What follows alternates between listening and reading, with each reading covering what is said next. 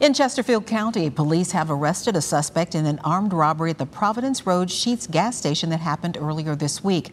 39 year old Jemine Carter is facing several charges, including abduction, robbery, and assault and battery. Officers say Carter showed a gun and demanded cash, taking money from the register.